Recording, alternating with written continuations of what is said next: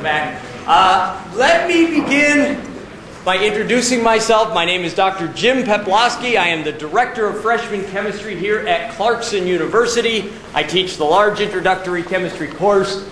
Uh, I want to thank all of you for staying around today, pushing it till 3 o'clock, uh, putting off your trip home so that you could be here with us to finish off our open house day. Uh, what we are going to do today is sort of a whirlwind exploration of chemistry as it takes place in the world. Come on in uh, and the society around us and look at some of the fascinating different types of chemistry that occur. Uh, I'm glad to see so many of my normal students that are my uh, current students and previous students sitting in the room now. Uh, that means that some of them may find at least some interest in chemistry. I think we got some seats up along in the back if you want to uh, find out. If you want to sit in the aisles, that's fine as well. I don't have any problem violating the fire codes. That's not a big deal. Uh, so, we're here to talk a little bit about chemistry. I always begin my fall semester class by asking the question, if we're here to study chemistry, what is chemistry? What is the science that we call chemistry? Well, the definition of chemistry is that it is the study of matter. So anything that you can touch, anything you can taste, anything that makes up the materials of the world around us is matter, and the study of that matter is chemistry. So if I choose to study this bench top,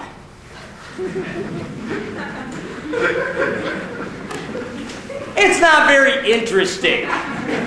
Chemistry is not just the study of matter, it is the study of matter and the changes that it undergoes. And we call those changes chemical reactions. And so I want to begin by illustrating a couple of chemical reactions for you.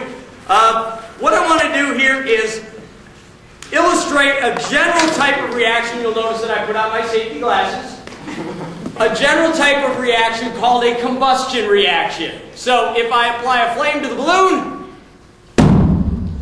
we get a combustion. Now,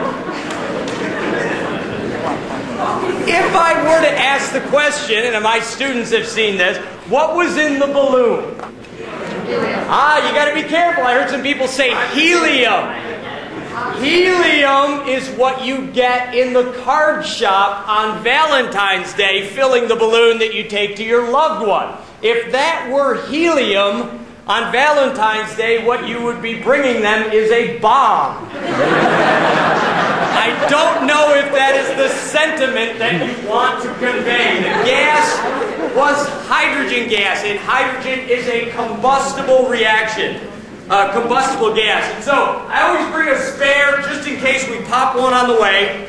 We might as well get it done now. Let's take another look at the combustion of hydrogen gas.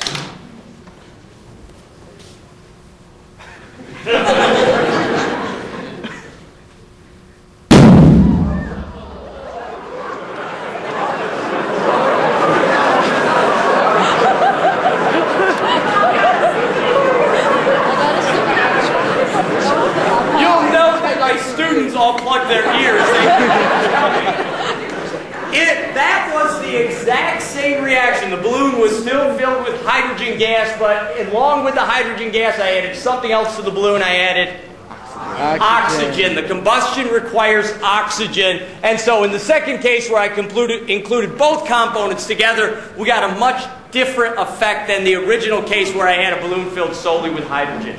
Chemistry is not only about studying matter and studying chemical reactions, it's about controlling chemical reactions, making them work the way we want them to work. So that is the science that is chemistry, studying matter and controlling chemical reactions. All right, I'm going to get some of this stuff out of the way here. When I do this, when I do this presentation for schools and other areas uh, of kids, I sometimes refer to it as chemical miracles, magic, and mayhem. The thing that we need to understand, though, is that everything that happens up here happens because I understand the science. I understand the chemistry of the materials that I'm talking about. There's really no such thing as magic. Or is it?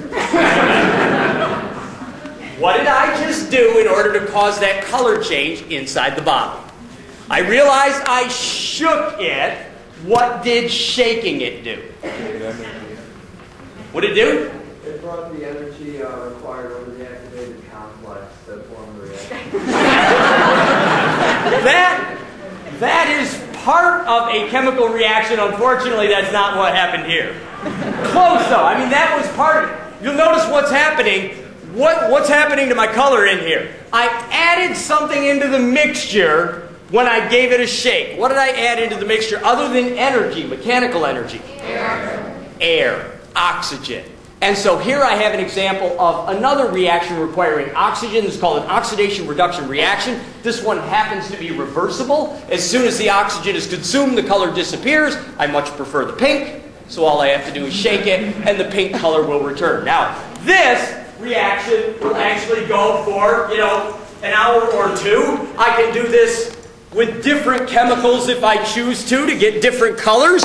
And if I'm really tricky, I can actually get different colors in the same flask depending on the amount of oxygen. So if you want to pass those around, you can allow those to uh, go throughout the room. Let them set for a moment. They'll change back to color. Let's give them a shake, supply the oxygen. They will turn once again. Uh, okay, so we're going to continue to look and explore the idea of chemical reactions. That first reaction I did with the hydrogen balloon, with the hydrogen balloon, released a tremendous amount of energy. That's what we call an exothermic reaction. It released energy. You felt that energy as heat. You felt it as a shock wave that went through the room. I want you to try to decide how the energy is released in this reaction. So I'm going to get myself, see if I can get myself set here and not mess too many things up. You're going to do the lights for me, right? I'm going to try to do this without pouring these chemicals all over myself in the dark, which wouldn't be the first time. So I want you to try to decide how the energy is released in this chemical reaction. Take them off. Lights, camera, action. There we go. That's not as bright as it should be. A little chemiluminescence here, a little hydrogen peroxide react with the materials that come from the materials from our ah, Oh, that's not good. That's too dim. I think we got a little bit too much peroxide in there. But that probably won't be the first disaster today. Let me add a little bit of color in here. We can change the color. Those. Now, where do you see this type of chemistry taking place? Where do you see this type of chemistry? Glow sticks. Be careful. Some people say neon signs. What happens when you unplug your beer sign? You guys would know. When you unplug, if you're not supplying electricity, those were all my students, all the freshmen that answered that question. If you're not supplying electricity, you're not going to get the uh, light generation in a neon sign. Here we have a chemical generation of light. The chemical generation of light we see in glow sticks. We also see it in nature in the form of bioluminescence, animals that communicate with light. So fireflies are an example of this type of chemiluminescent. This is what you get in your glow sticks that you buy at the local fair. It's a very interesting, very exciting type of chemistry. There's not a lot of chemical there. There's not a lot of expense. But the chemistry is very uh, interesting, and so we shell out $5 to buy a bunch of necklaces at the fair. Uh, as long as I've got you in the dark, let me ask another question. Here I've got a bottle that contains a solution. I've got a bottle that contains a solution. I'm just going to move this back out of the way. Of those. Here I've got a bottle. I've got one simple question to ask. What color is the solution in the bottle?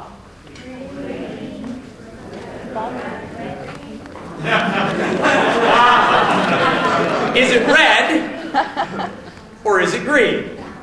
Well, the answer is like most things in this world, it depends on how you look at it.